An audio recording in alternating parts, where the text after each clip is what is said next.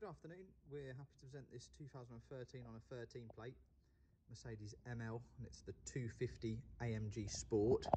So the 250 denom denominates it being the 2.1 diesel engine. So you get 50 plus miles per gallon along with lower road tax. Finished in silver over leather Alcantara black interior. And the car's covered just over 100,000 miles from new and that's backed up with service history to 94,000. Obviously these are an engine that Mercedes have used for a very long time and you can get circa 200,000 miles out of these as long as they're serviced and looked after.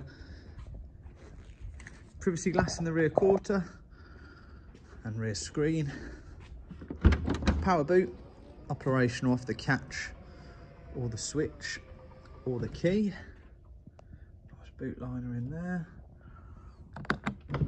Button to close it got the AMG alloy wheels, side steps, auto xenon headlights with LED side lights, electric folding mirrors, satellite navigation, nice and clean and tidy, no major scratches or dents or anything around the car.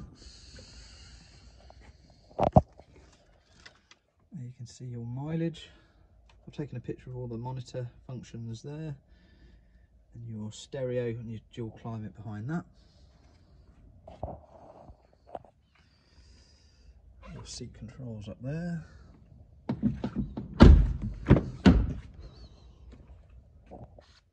fix on the two outer rear seats as per usual in uh, this level of vehicle and I've taken 30 plus pictures of the car so hopefully those along with uh, this video will give you a good overall idea of the condition.